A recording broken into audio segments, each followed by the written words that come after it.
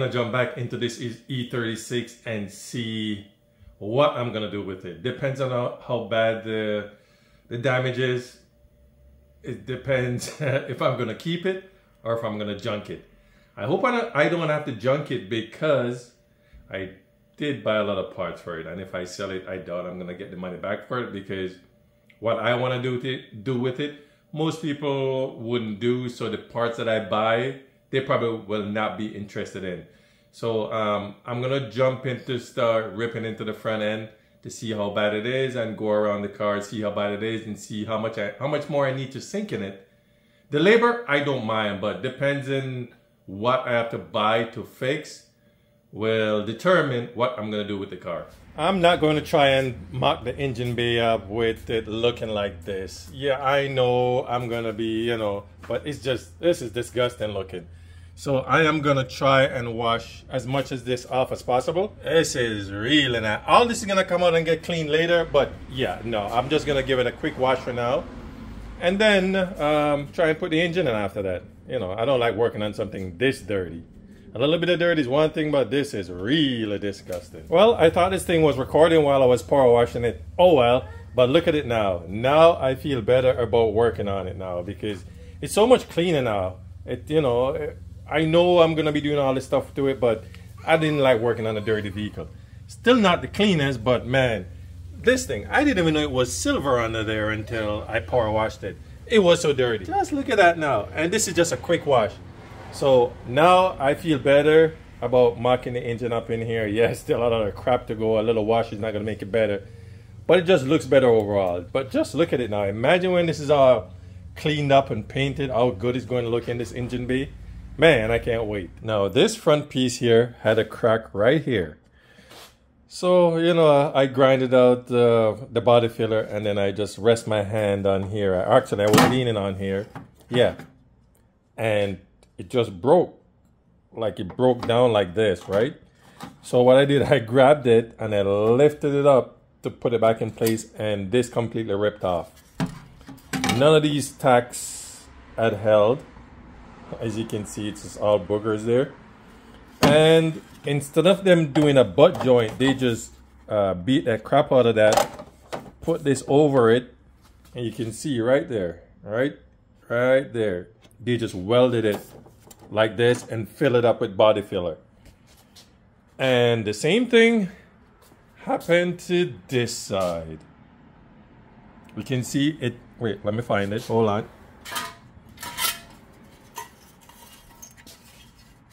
Here's the other piece. It went right over here. Right there. And I did the same thing. I just ripped it off with my bare hands.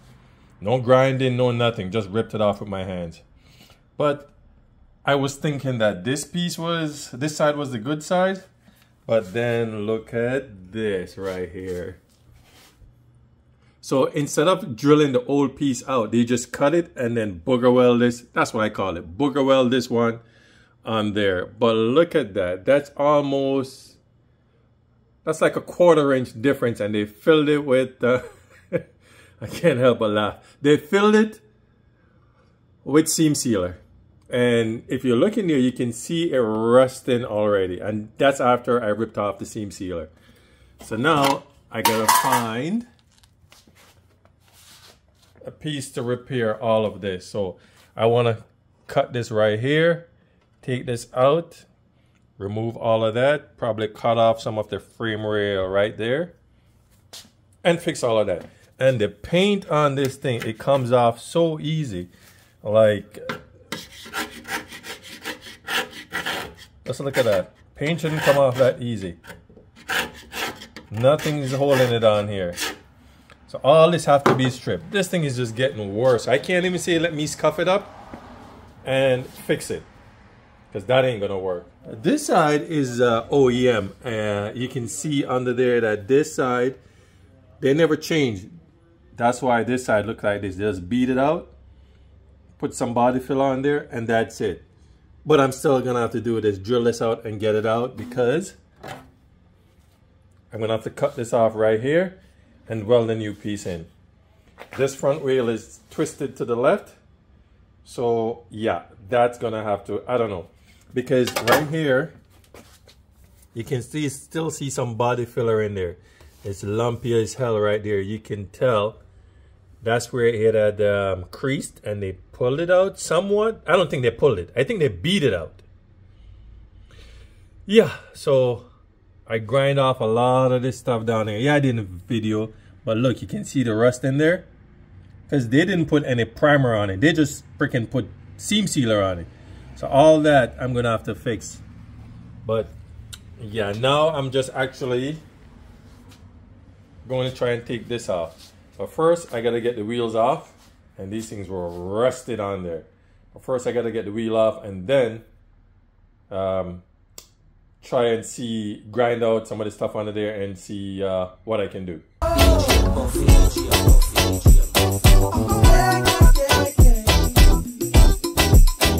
Yeah, yeah, yeah. Now I have to try and get all this, uh, I don't know, let, let's hope it's a seam sealer out from under here. Look at this, they didn't even bother to weld the carrier bracket on. They just zip tied it like, Jesus man. Some people are just jackasses. So now I'm gonna try and get all the seam sealer off these joints so I can see what it looks like, how they welded it, because I need to get it all off.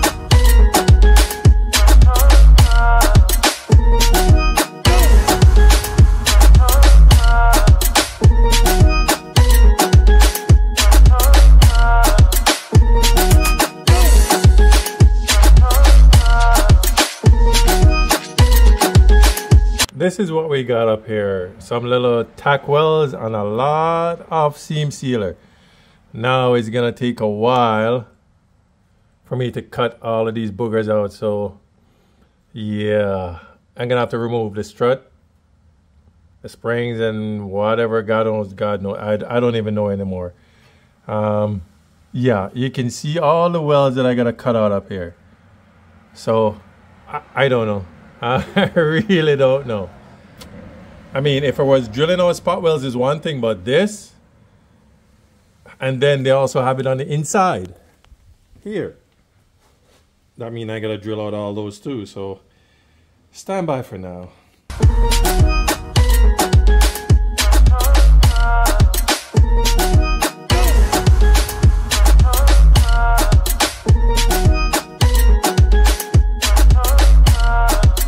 Well, folks, just like the other pieces, um, filled with rust. Yeah, I didn't show you guys uh, me drilling this out. I was doing some sketchy crap. Uh, I didn't want to put that on video. I mean, it wasn't unsafe. It's just sketchy because I don't have. I need to go get myself a chisel so I can um, chisel all these pieces off. But look at all the rust. There's just too much. I guess they didn't prime anything. They just put it back together and boo some. A lot of those welds I just ripped off with my hand again. They didn't hold anything. Now um, I'm just gonna get a chisel to clean that up. The rail right there has a lot of. Um, I'm just gonna clean up this whole rail and see how far back I gotta cut out. But the more I dig, the more I regret. But yeah, I can't leave it like this. So I'm gonna go get myself some body working tool and uh, come back and see what I gotta cut out.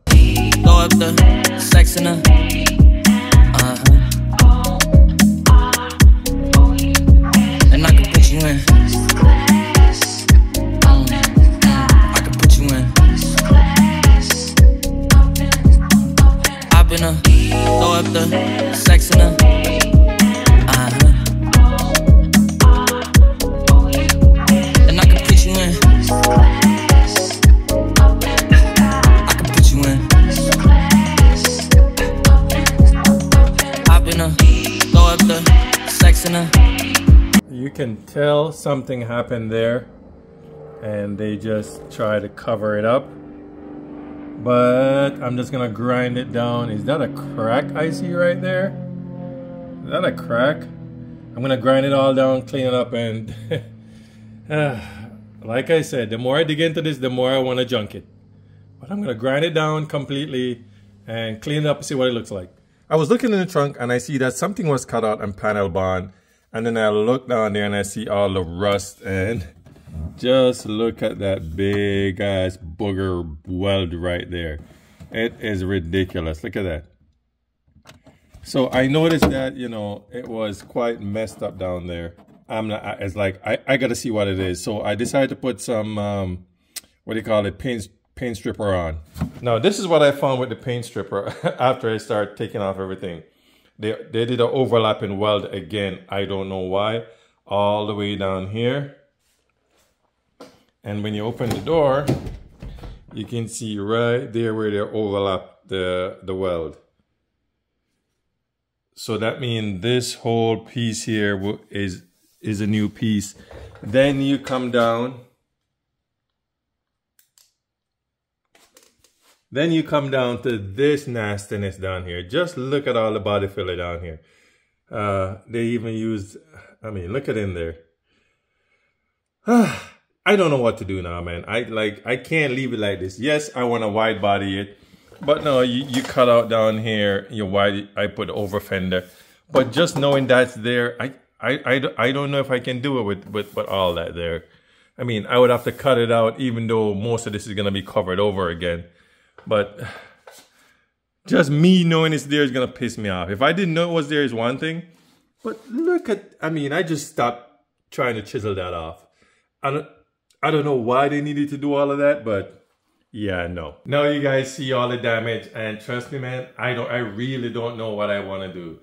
It's a lot of work. It's not so much the work, but someone promised me, oh, speaking of that, I have to call the person. They promised the whole front uh, from the dashboard forward from an E36, which is in good shape. But man, I don't know if I want to do that much work. I'm not lazy, but I'm burnt out from the M3 and Trust me, this is a lot of work. And then you see the rear end. And yeah, I'm to put some wide body on it, but most people would say to leave it because that's how they used to do uh, body work back in the day. They would just put a panel over instead of completely take it off and replace it. From what I was told, that that's that was quite normal back then. Okay, I just me myself, I just don't like it. But First I have to do that and I still have to do the rotted floor because the driver's side is just gone. And now that side of the car, I even got to this side. I know they did some work over, over on the passenger side and I've I've not even gotten over here yet to see what it is. So if I can still get that front end, I will fix it. If not, then sayonara. And uh, I don't want to because I have a vision up here of that car and I would love to build it and I still have to finish the M3 too so there's still a lot of work left to the M3 and some maintenance on it too but I got some thinking to do and um, yeah we will see. I don't know. I really don't know. I have to sleep on it and see. You know how long I've been thinking about it and I still can't come up with a decision but when I do you will know what I decide to do. But for now, later.